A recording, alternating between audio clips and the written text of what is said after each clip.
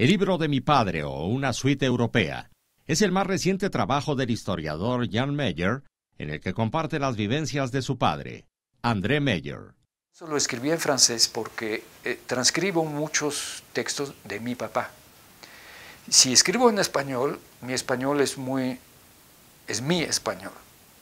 Y entonces el estilo de mi papá, que es su estilo, se va a perder con el mío. Por eso el libro ha sido traducido. El maestro Meyer comentó que el texto tiene un hilo conductor a través de los escritos de su padre. Bueno, el libro... ¿Cómo está conformado? Eh, el libro eh, está...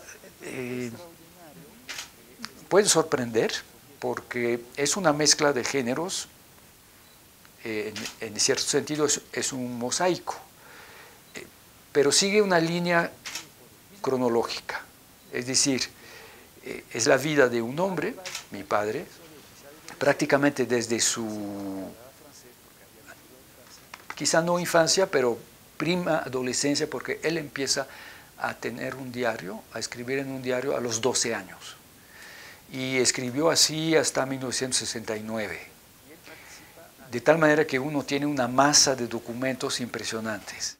A decir del autor, el libro es también un homenaje a la vida de su progenitor, yo encontré los cuadernos y supo lo que hizo y cómo peleó valientemente, por eso las condecoraciones. Pero un día en la Academia de Aix-en-Provence, de la cual fue presidente un tiempo, hace un homenaje, publicó el discurso y al final se me acerca un señor, ya grande, y me dice, igual usted no me conoce, soy el doctor Vidal. Tengo que decirle algo que yo creo que usted no sabe y que nadie sabe. Su padre fue de los nuestros en la red de resistencia del grupo Combate. Como padre de familia, que ya, usted ya había nacido, su padre no era combatiente, pero era coreo nuestro. Y andaba en bicicleta por toda la región pasando los mensajes. ¿Y sabe dónde los tenía? En papel chino, en la bomba de aire. Yo nunca lo supe. Con información de Luis Galindo e imágenes de Naim Camacho. Notimex.